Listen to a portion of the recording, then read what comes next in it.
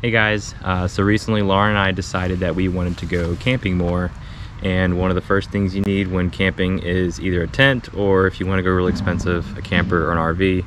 Um, we wanted to go the simple route and get a tent so we found ourselves online uh, looking at a lot of reviews and a lot of videos of all the different tents the world has to offer.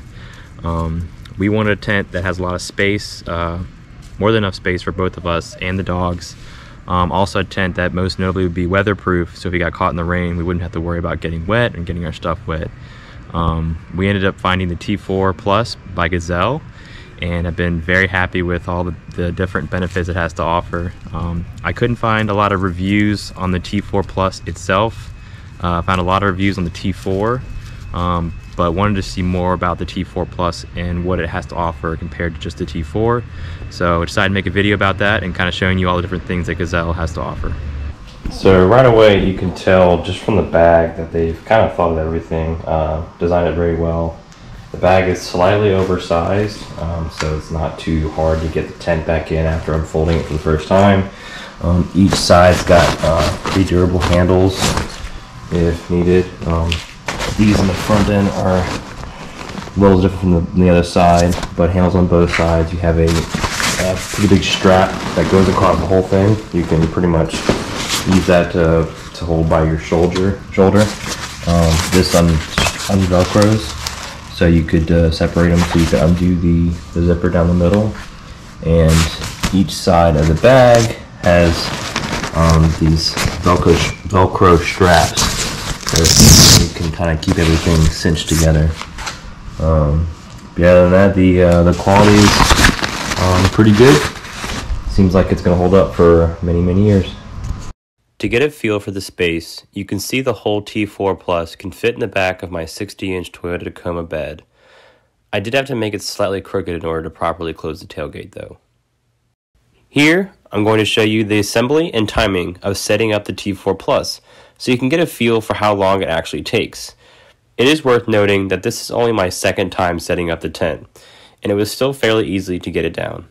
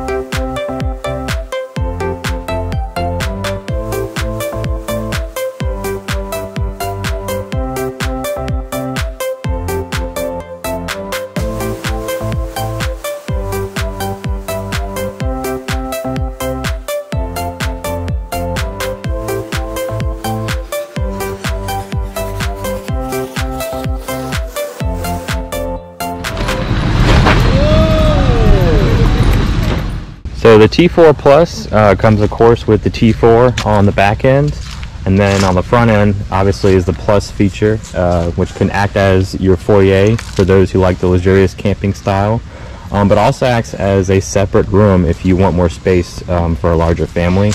Just going over the back real quick for the T4 you've got your windows on the side that can open up from the inside. You've got a rear facing door which opens up to the inside which allows you some uh, access from the rear. You also have a rear facing window which can be opened up and then two facing windows on the other side. So moving on to the Plus, uh, this whole area comes off or up. These sides zip up, the bottom velcro is off. And then you can remove this off of the tab and roll this up and basically makes the whole wall like a screen, almost like a front screen and porch. So I'm gonna let it fall for now. If you go to the other side, you can essentially do the exact same thing, exact same thing, so you can make both sides screened in. And then if you wanted to do more, you can do the same for the front panels. So I can roll these up and basically make the whole plus area like a screened in porch for your foyer. So this is how the uh, T4 Plus front end looks like with the windows rolled up. Um, you can see my semi okay wrap job on the windows, but they essentially roll up and then tie in with a little, uh, you can just cinch it right here with a loop and the piece of fabric they have. Um, the sides have three, so it opens up nicely. And then the front door panels each have two separate pieces that come up and you can wrap them as well. And the left side looks just like the opposite side. Going into the actual tent itself, uh, here is the open foyer area as we're calling it. Um, we kind of use this to um, store our clothes and such and also a spot for the dogs to sleep. Um, move their bed outside. That's kind of half a bed for them. The panels on the wall are essentially the same um, Gazelle design as the back T4. Um, you have two of those on either side with also the roof panel. Um, this one does have the little latch assembly with a little catch for you to, to store something up top. Um, we put a little night lantern up there, perfect for night when you're trying to get in and have some light. Um, the front area also has pockets on the sides here. There's three on each side, which is plenty enough storage space. Um, you have a door that actually can zip up and separate this whole room from the back. That door can unzip. And you can essentially roll this whole door up if you want to make it one big tent. Now in here we have uh, the main T4 area, which is essentially um, the same T4 as uh, as everything else. The sides has two windows that both unzip for nice mesh screen. Um, each side also has a pretty spacious uh, storage pouch. We've got Harry Potter kind of chilling in there right now. Um, one on the other side as well, also with two windows and a nice mesh open roof with also a little storage cache as well. Um, we have an additional lantern for this room as well. On the back end you have one window and then a door that we saw from the outside. And then the back end you also have another storage cache um, which is plenty big. One of the things I like to note, and just, just kind of standard on the Gazelles, one of the things I like, um, the zippers are all high quality. Just by using them. Uh, they don't catch very easily. When they do, they stay on their track very well. Pretty much every zipper uh, tent is the same good durable quality. Um, so that's a pretty good feature by the Gazelle here. Um, another feature of the Gazelle tents, which um, we like a lot, is that the bottom floor is essentially a liner that is velcroed to the sidewall.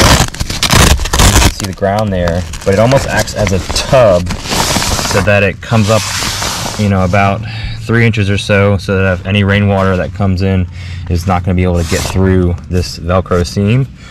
The T4 Plus has its own tub separate from the back area. So this whole piece can essentially be removed for easy cleaning. And then going to the T4 side, you've got its own separate tub liner, which also velcros away from the wall, and you can see the ground there.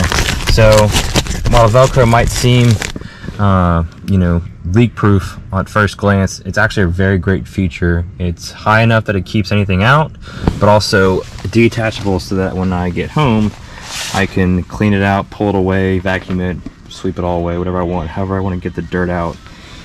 And it features uh, good use for that. A couple of things, I guess, to knock against the T4 Plus. Uh, one of the few are the stakes that come with it are kind of cheap aluminum. We left them at home. Um, we replaced them with a better quality steel uh, with a plastic head. It essentially does the same thing, but uh, is also a lot more, lot more durable and can last longer. Another thing that we weren't crazy about uh, with the T4 Plus is that it did not come with a bottom tent footprint. So as you can see here, we've put our own tarp down, um, which is, you know, pretty cheap to get at your local hardware store. So that wasn't a big, huge buy. I know that Gazelle has uh, provided a, uh, a premium addition to some of their T4s that give you basically the better stake and also a footprint for your tent. But the T4 Plus does not come with those. So you, if you want those kind of extra perks, you got to buy them yourself. You're probably thinking, now I've seen the T4 Plus uncovered, but what does it look like with the Rainfly on? Well, never fear my friends, I've got you covered. Here's the T4 Plus open, and here it is with a Rainfly and a dog. No Rainfly? Rainfly. No Rainfly? Rainfly. Well, you get the picture. Well guys, uh, that's going to be it for the review video today. I hope I was able to answer all your questions. Uh, I hope I was able to give you a good quality review of the T4 Plus and kind of show you all the features it has. Um, I know it's going to be a great tent for me in the future and I'm looking forward to using it more. Um, if you have any questions, feel free to put them in the comment box below. If you like this video, well, give me a thumbs up. And if you didn't like this video, well, I guess you can give me a thumbs down, but it's up to you. If you're looking forward to more content from me, well, feel free to hit that subscribe button. I'd love to get more followers and love to see you guys more in the future. Peace out.